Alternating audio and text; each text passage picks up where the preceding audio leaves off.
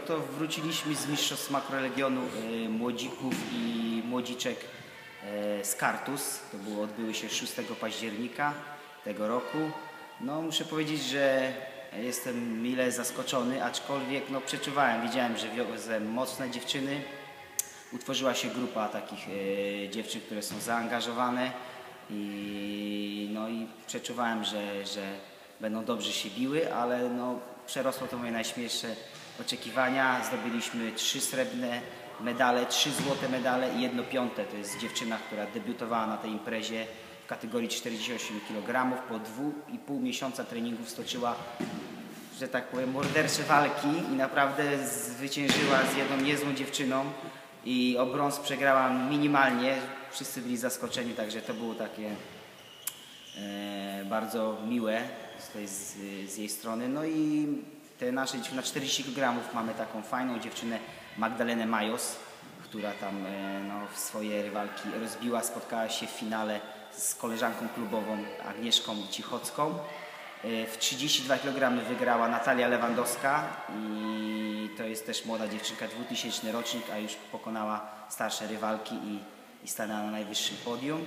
No i Katarzyna Szapućko w 57 kg e, również bardzo ładnie walczyła i to są takie nasze też szanse medalowe na Mistrzostwach Polski Młodziczek, które odbędą się 30 listopada e, i 2 grudnia w tym przełomie. Także no, jeśli mogę coś powiedzieć, to e, ta ostatnia impreza tego roku to będą Mistrzostwa Polski Młodziczek i jak uda się dziewczynom zrobić jakiś medal, a w co głęboko wierzę, to będzie ukoronowaniem tej całej rocznej pracy. Klubowo zaliście trzecie miejsce, Tak, tylko dwóm innym klubom ulegliście. tak uleg- przegraliśmy y, z klubami z, y, z Żarów. Jest to taki dosyć mocny klub, który już zajmuje się szkoleniem dziewczyn już nieco dłużej niż, y, niż nasz klub. I przywieźli tam 20 zawodniczek, my przywieźliśmy 7.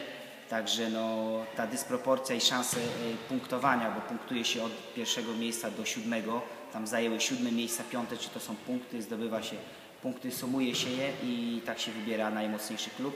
To z, z, ulegliśmy właśnie e, klubowi e, z Żarów i z Sobieskiego e, Poznań. Sobieski Poznań jest to też dosyć taki duży klub z tradycjami e, i też miał większą ilość zawodniczek. No i tym dwóm klubom musieliśmy ulec, i zajmując trzecią lokatę, zdobywając 17 punktów, co jest w tamtym roku 9, w tym roku 17, czyli no ten skala jest jeszcze raz taka jak w tamtym roku. Ile macie czasu na przygotowania w najbliższych?